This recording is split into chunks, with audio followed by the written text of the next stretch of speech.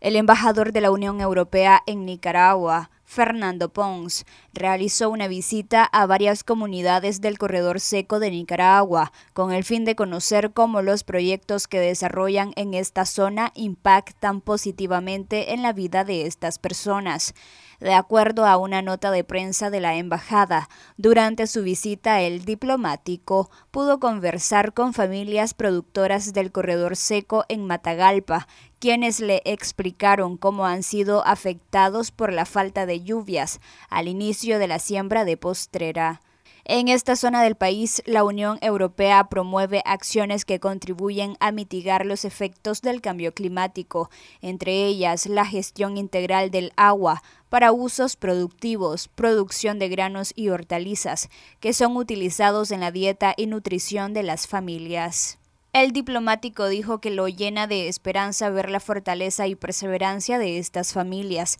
quienes a pesar de las adversidades están sabiendo trabajar y aprovechar todo el apoyo de instituciones nicaragüenses y europeas para mejorar su capacidad de resiliencia y respuesta sobre todo en una de las zonas más afectadas por los efectos del cambio climático. El embajador también llegó hasta la comunidad Montaña Grande, ubicada en el municipio de Terrabona, en el departamento de Matagalpa, donde convivió con niños y niñas del centro educativo Pedro Orozco, que cuenta con alrededor de 357 estudiantes.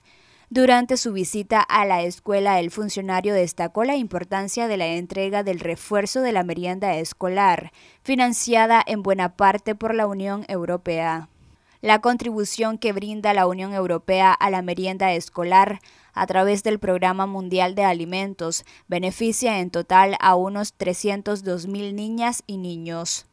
Las acciones que ejecuta la Unión Europea en materia de resiliencia climática y seguridad alimentaria también benefician a unos 7.500 pequeños y medianos productores y productoras agrícolas de Estelí, Madrid, Nueva Segovia, Matagalpa y Jinotega. Esta contribución incluye construcción de obras de agua, conservación de suelos, agricultura sostenible, buenas prácticas nutricionales, insumos agrícolas, créditos y asistencia técnica en diferentes áreas. Para Noticias 12, Luisa Centeno.